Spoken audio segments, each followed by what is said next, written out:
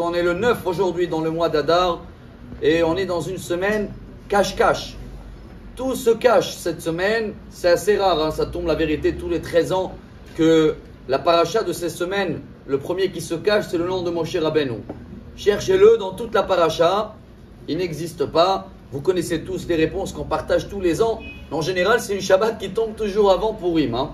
Moshe Rabbeinu a demandé à Dieu, par rapport à la faute du Vaudor, que si tu pardonnes pas, tu vas m'effacer de ton livre, malgré que Dieu l'a pardonné. Quand quelqu'un de sage, dit une parole, elle n'est jamais eh, en l'air. Et comme Moshe l'a dit en hébreu, Misi Frecha, Dieu tu vas m'effacer, Mise Ferchaf, on l'a vu l'année dernière, du, livre numéro 20. Et vous prenez la paracha de cette semaine, peut-être savez, c'est la paracha numéro 20 depuis le début de la Torah. Mais il n'y a pas que Moshe hein, qui se cache cette semaine dans la paracha. On va terminer la semaine avec la lecture de Megillah. Pour une fois, même les gens de Jérusalem et dans les villes, ils vont lire le même jour comme nous, partout, jeudi soir et vendredi matin. Et là-bas aussi, le nom de Dieu se cache. Il n'y a même pas une fois le nom de Dieu. Que Amelech, Amelech, le roi, le roi. Il se cache avec une couronne. Et bah, chers amis, je crois que pour cette semaine, qu'elle commence avec le cache-cache, elle se termine avec le cache-cache, nous aussi on se cache, ça fait un an. Ça a commencé pour Purim dernier. On croit qu'en général, pour on, on met les masques. Là, c'est la première fois où le monde entier va souhaiter enlever les masques. Mais pour cela, chers amis, on a un travail à faire. Je préfère le dire tout de suite au début de semaine.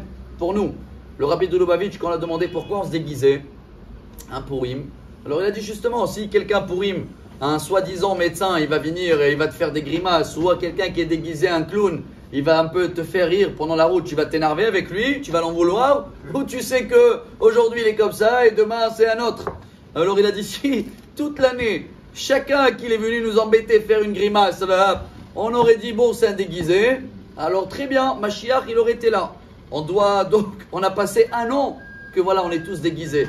Je pense que, je parle pour moi, je ne sais pas si on a vraiment compris le message.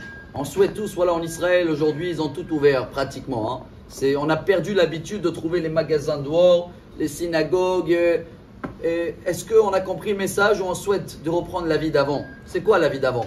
Sans les masques, on veut que le nom de Dieu se dévoile. Alors nous aussi, si on veut enlever les masques, il faut qu'on enlève autour tout ce qui nous met à avoir les masques.